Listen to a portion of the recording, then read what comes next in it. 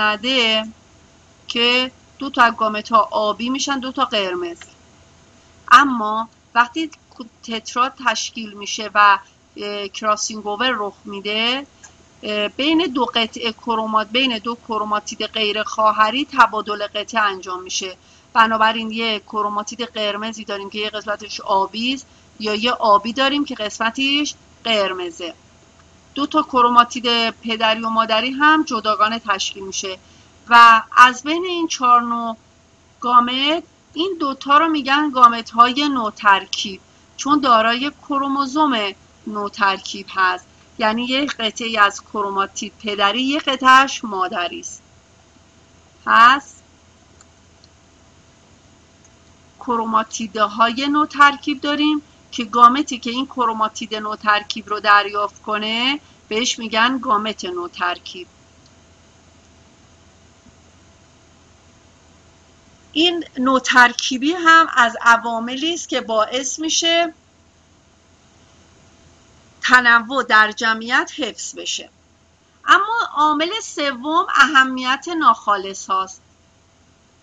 اهمیت ناخالص ها برمیگرده به بیماری کمخونی داستی شکل و بیماری مالاریا که هر دوشون کمخونی هستن. ولی کمخونی داستی شکل ژنتیکی است. کمخونی مالاریا میکروبی است یعنی عامل مولد مالاریا یه نوع آغازی هست که جزو آغازیان عامل مولد و از فرد آلوده توسط پشه آنوفل به فرد سالم منتقل میشه. حالا اهمیت ناخالص ها چگونه می‌تونه تنوع ایجاد کنه در جمعیت؟ براتون می‌خونم و بعد خلاصش رو براتون می‌نویسم. اهمیت ناخالص ها در تداوم گوناگونی را می‌توان به وسیله بیماری کمخونی داسی شکل نشان داد. افراد مبتلا ژن نمودشون HBS HBS دوتا اس هم کوچیکه. چون بیماری هموفیلی ببخشید بیماری کمخونی داسی شکل نهفته است. نهفته. و اتوزومیست.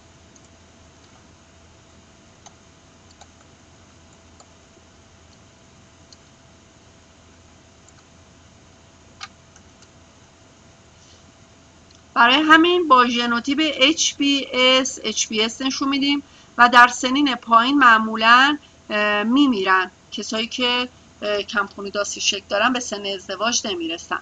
اما اونایی که ناخالصن یعنی ناقلن.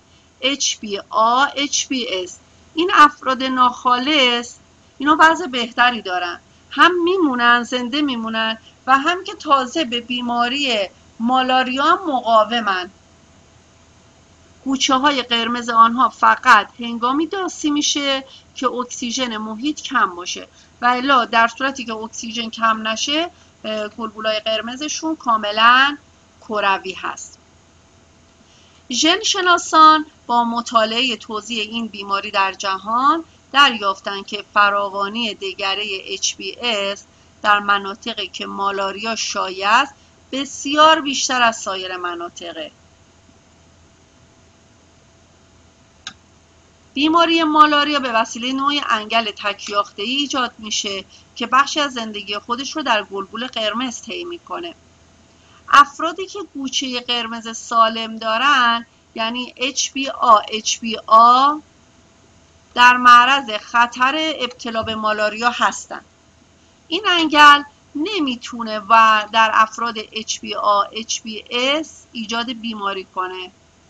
چون وقتی این گوچه ها رو آلوده می‌کنه آنها داسی شکل میشن و انگل میمیرد.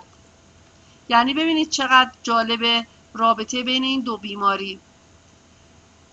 افرادی که ناخالص هستن یعنی HBA HBS هستن اینا گفتیم مقاومن به مالاریا. چرا؟ چون وقتی عامل مالاریا وارد گلبول قرمزشون میشه به شکل داس در میاد گلبول قرمز و وقتی داسی میشه این عامل مالاریا از بین میره. یعنی فضای کافی برای